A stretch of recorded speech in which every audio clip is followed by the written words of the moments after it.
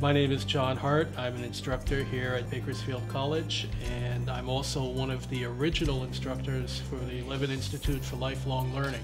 The Levan Institute is uh, essentially a series of workshop type classes for older adults, but also it's open to, to anybody to learn uh, new skills.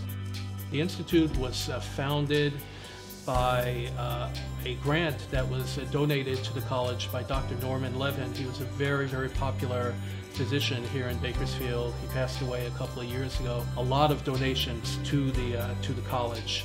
And one of the donations he made was uh, the money to form this institute. So how I came to be a teacher at the Levan Institute was I was working at the Bakersfield, Californian, and I was also teaching regular classes here at BC.